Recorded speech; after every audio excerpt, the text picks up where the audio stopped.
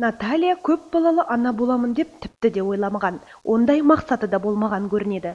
Барлығы өз уақытымен болып жатты дейді алтын құрсақты ана. Первые родили троих детей, потом четвертый. Там уже ең алдымен үш баланы дүниеге әкелдім. сосын төртіншісі де дүниеге келді. Міне осылай көп балалы ана атандым. әрине алты бала тәрбиелеу қиынға соғады.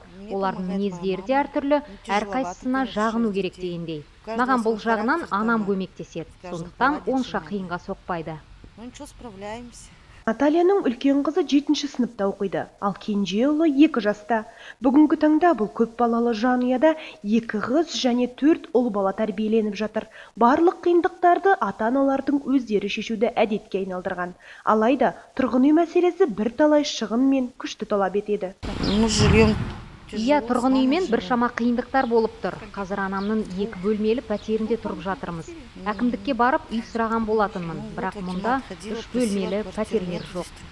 25 мамыр күні екібастұз қаласы әкімінің орынбасары Мария Мадаспаева шідертіге келіп Наталья Пермякованы күміс алқамен марапаттады. бүгінгі таңда елбасы көп балалы аналарға көп көңіл бөлуде. Міне осы себептен сізге осы балаларды тәрбиелеп отырғаныңыз үшін екібастұз қаласы әкімдігінің атынан шексіз алғысымды білдіремін. болашақта сізді алтын алқамен марапаттаймыз деп. Натальяның кезекті марапаты да алыс емес ыңайлы. Себебі ол жары екеуі қазан айында жетінші сәбилерінің дүниеге келуін күтіп отыр. Және соның бәрі жоспардағыдай болсын деп тілек айтамыз.